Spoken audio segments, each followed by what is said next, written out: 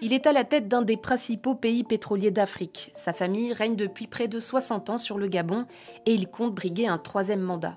Cet homme, c'est Ali Bongo Ondimba. Né en 1959 à Brazzaville, il est le fils d'Albert Bernard Bongo, devenu Omar Bongo, et de la chanteuse Joséphine Kama, devenue Patience Dabani. Tous changent de nom et de prénom en 1973 lorsque le père convertit la famille à l'islam. Alain Bernard Bongo devient alors Ali Bongo Ondimba.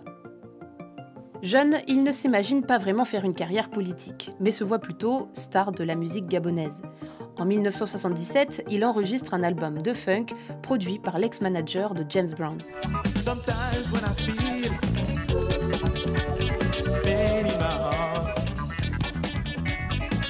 Mais la politique le rattrape. Après avoir effectué ses études en France, il revient au pays et travaille dans le cabinet de son père. À 30 ans, il devient ministre des Affaires étrangères. Mais après un changement de constitution le rendant trop jeune pour exercer ses fonctions de ministre, il devient député de la province du Haut-Ougoué. On lui reproche alors d'être éloigné de son électorat, de ne pas connaître la langue locale et de ne pas résider dans la circonscription.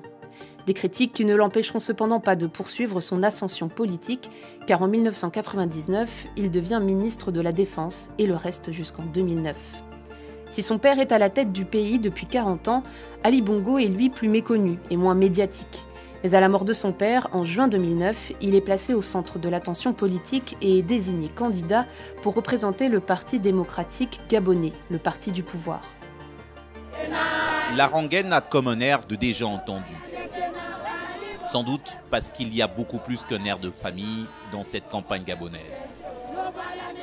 Ce ne sont plus les louanges du patriarche Bongo qu'on chante sur le tarmac de l'aéroport de Kulamoto. Mais désormais, celle de son fils, Ali Ben, qui brigue sa succession dimanche prochain.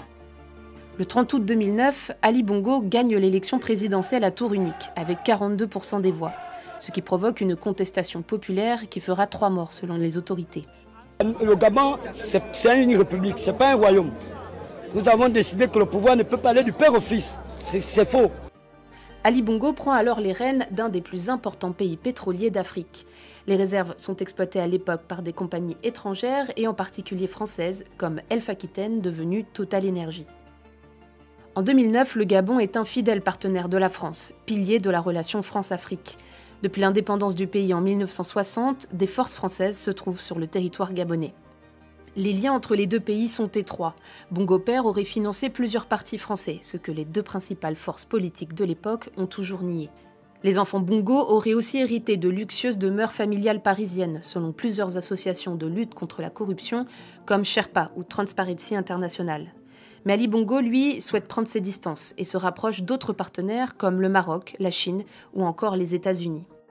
Ah, je crois avoir indiqué une, une fois que je ne connaissais pas la France-Afrique à tel point que lors de sa deuxième élection, la France demande le recomptage des bulletins et exprime des doutes sur les résultats des élections qui donnent Ali Bongo gagnant. Ce dernier emporte cependant l'élection officiellement avec 5500 voix de plus sur son opposant Jean Ping. La répression de la contestation est encore plus brutale que celle qui avait suivi la précédente élection. Les opposants dénombrent près d'une trentaine de morts. En 14 ans de pouvoir, malgré la richesse en ressources naturelles du Gabon, la pauvreté n'a pas reculé et a même sensiblement augmenté. Elle concerne un tiers des habitants qui vivent sous le seuil de pauvreté selon la Banque mondiale.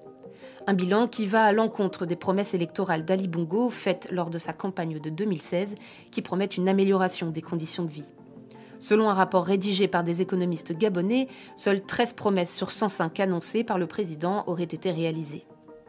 Ali Bongo, par exemple, a annoncé la construction de 700 crèches à travers le pays.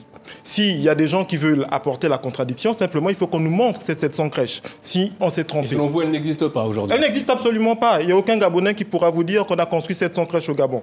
Ou bien il y a un lieu bien connu à Libreville qui s'appelle la Cité de la démocratie. À l'intérieur, le président s'était engagé à construire 110 000 mètres carrés de bureaux pour offrir de meilleures conditions de travail aux fonctionnaires. Le site existe bel et bien et si vous y allez, il est rempli d'herbes.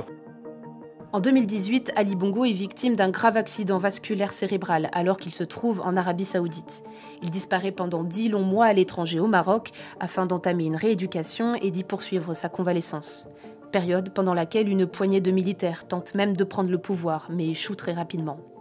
Malgré tout, Ali Bongo compte bien briguer un troisième mandat lors de l'élection de ce 26 août 2023.